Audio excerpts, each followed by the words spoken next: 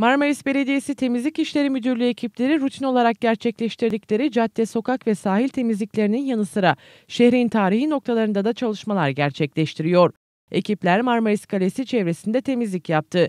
Özellikle yaz aylarında nostaljik sokakların yüzlerce kişinin dolaştığı Marmaris Kalesi'ne çıkan arayollar temizlik işleri personelince temizlendi. Çöplerin toplanmasının yanı sıra yabani otlar da temizlendi.